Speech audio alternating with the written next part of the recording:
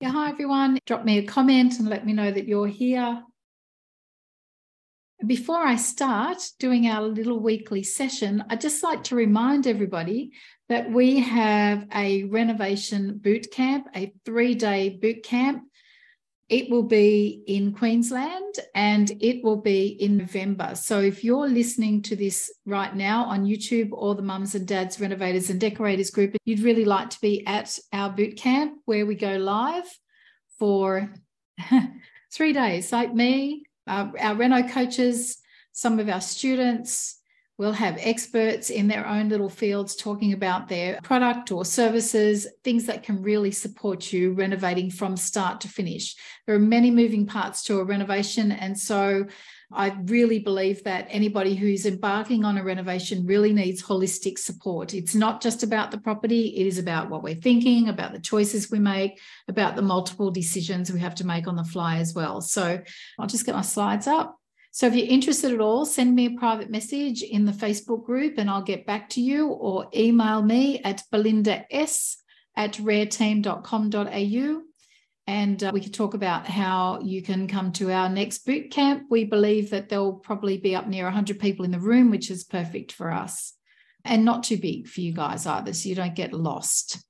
Don't get lost in a room full of people, which is pretty important. You don't want to be in a sea of strangers and no one know who you are. So, all right. So, we are going, or I am covering this series is the room by room series. And tonight's little episode, tonight's live is on bathrooms. The two most important rooms of a home when it comes to de- decorating and renovating are the kitchens and bathrooms.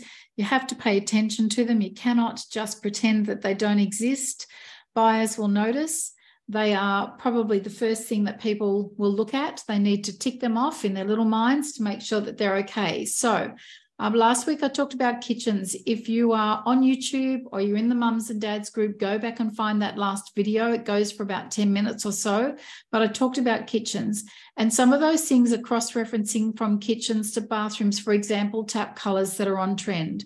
But let's have a look at bathrooms. I think we always need to start with the layout and the flow. My builder has just asked me to send him plans.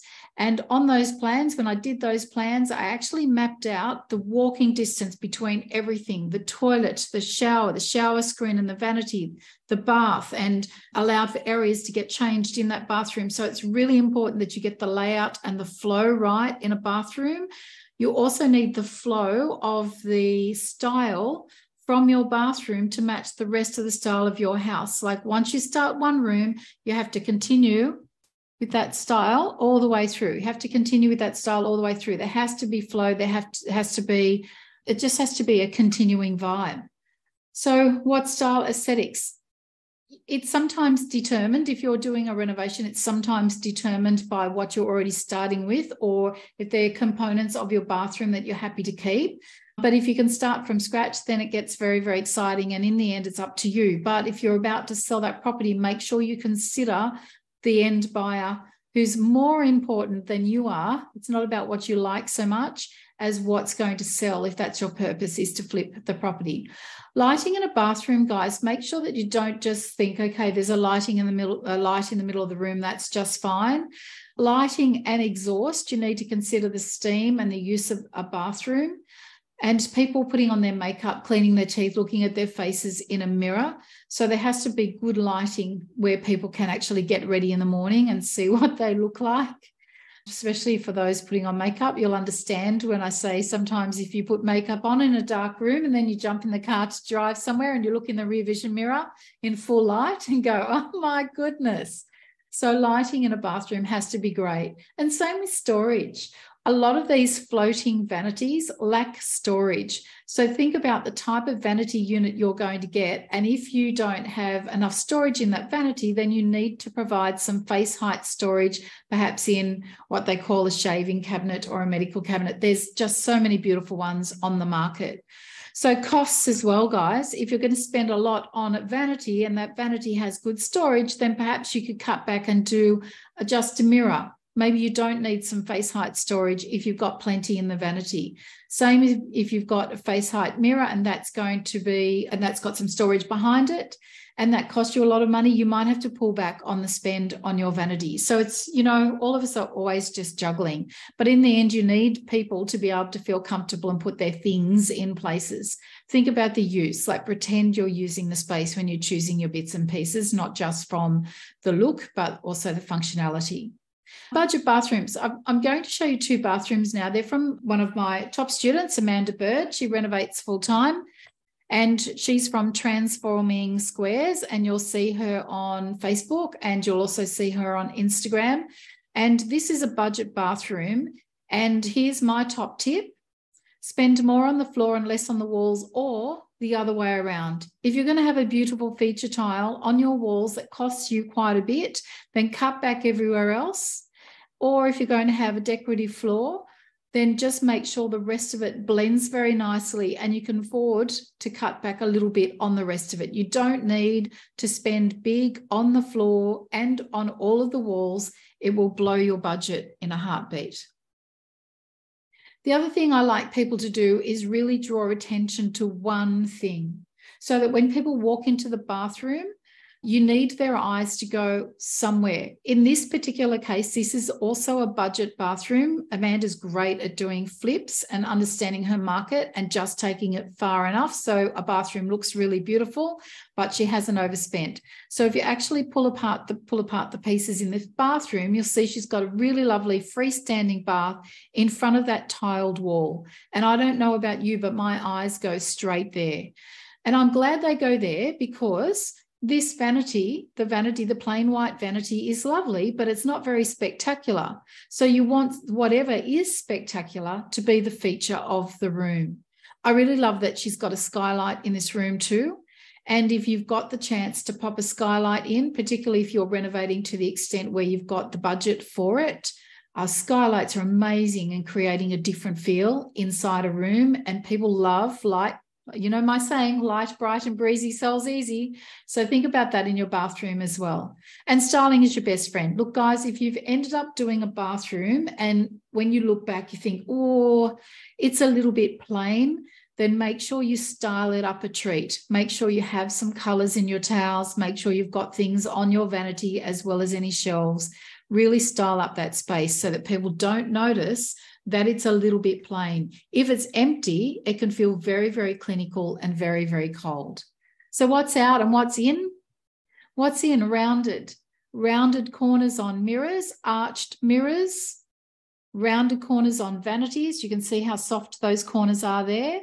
These two bathrooms are by Catherine Herity, a local designer from the stables. Lovely. Go and have a look at her Insta page. She does some really nice work. Rounded corners. Texture, you see the interest in these tiles here. Those tiles there on the wall would have cost a lot more than the tiles on the floor. The laying of these tiles really matters too to create some texture.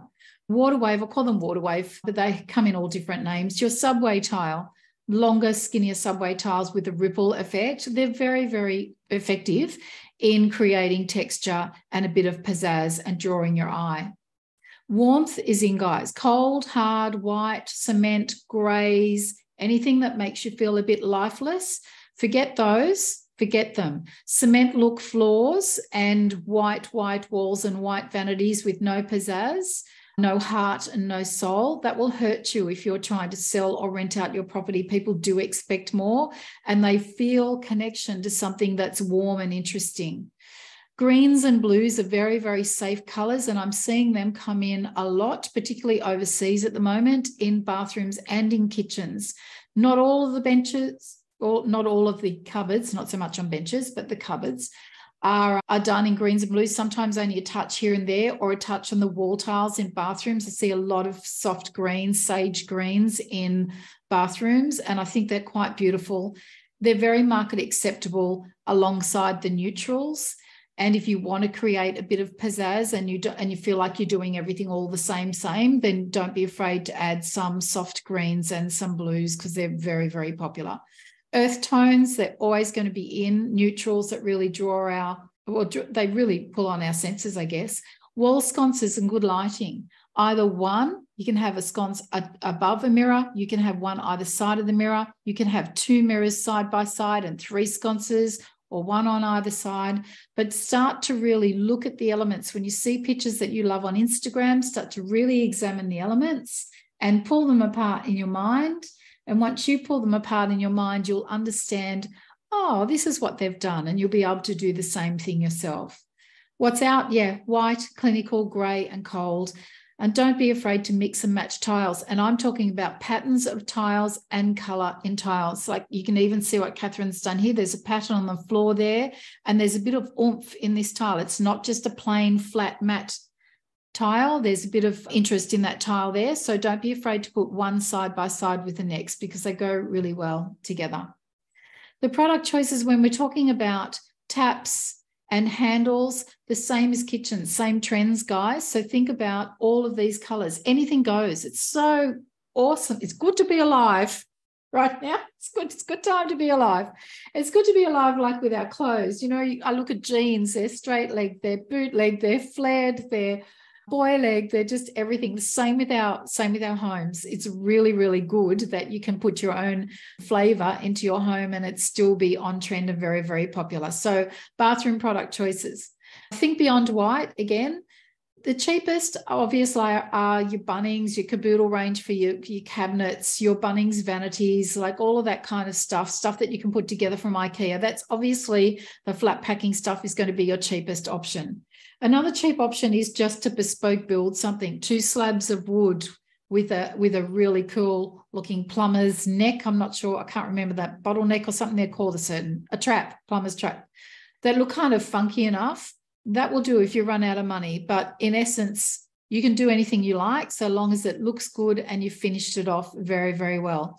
I think middle of the range, if you've got a little bit more coin, you should be looking at Highgroves, maybe even the blue space is a very, a great range of product at the blue space online. And it goes from relatively inexpensive to very expensive, but there's lots to look at there. And it's very, very interesting to see plenty of photos that give you inspiration on what to do. Same with Highgroves. I think Highgroves for what you get, I think they actually produce really good product you know and mixing and matching like we do with our clothes is a great idea too. Like you might have a Highgroves vanity snuck in and something else and you know a more expensive tile. You can get away with a lot same as you can get away with wearing $200 boots um, $100 jeans and a $10 Kmart t-shirt. So same thing we mix and match our clothes. Don't be afraid to do that in your own homes.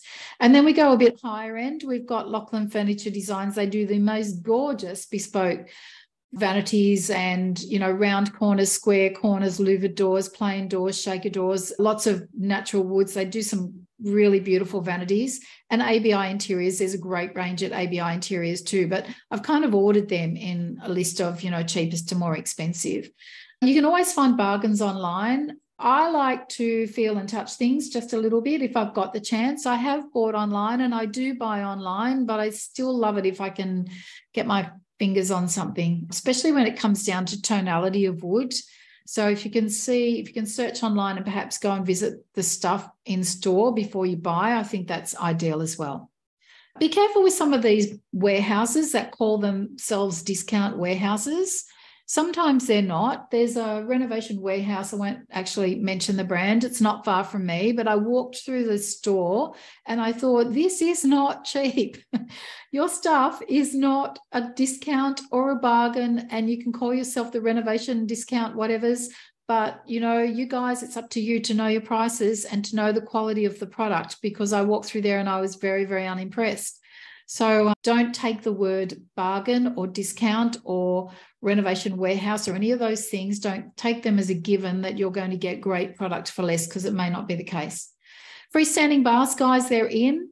I love back to wall baths as well. They sell, I was talking to the gentleman at Highgroves the other day, they sell a lot of the back to wall baths. If you don't know, I should have a picture, but I don't. The baths basically, they look like a freestanding when at first glance from the front, but they continue right to the wall. Like this part here is filled in and this part here is filled in so that you don't have any of the issues with cleaning behind. You'll have all sorts of people say, I would never have a freestanding bath because they're hard to clean. I just say, just just work it out. because they look adorable. They're really popular. You can get behind there with a feather duster and a bit of a, a bucket of hot soapy water. Where there's a will, there's a way. really we can clean good enough behind stuff like that. And I think that they look gorgeous. And here are tiles, guys. You know, uh, look at those tiles here. There's a tile here on the floor that they've carried up the wall, and there's a coordinating tile here. Shelves are just gorgeous, whether they're deep shelves or tiny shelves. Freestanding taps, bars, I love them, but be really, really careful. I would never put them in a home where you are going to have tenants. And I'd be very careful if they're out in the middle of the room like this, if you've got little kids, because if people swing on them, they become loose at their base pretty quickly and they look pretty ordinary. And they there's nothing worse than having having to pay a plumber to come back and fix something. So that's it in a nutshell, guys. Go with your heart when you're doing a bathroom. Think about the layout, think about the usability, think about adding some color, be brave. It's time to be a bit braver than we used to be. And uh, think beyond just doing all white and definitely never do cold. Just never, ever, ever do cold.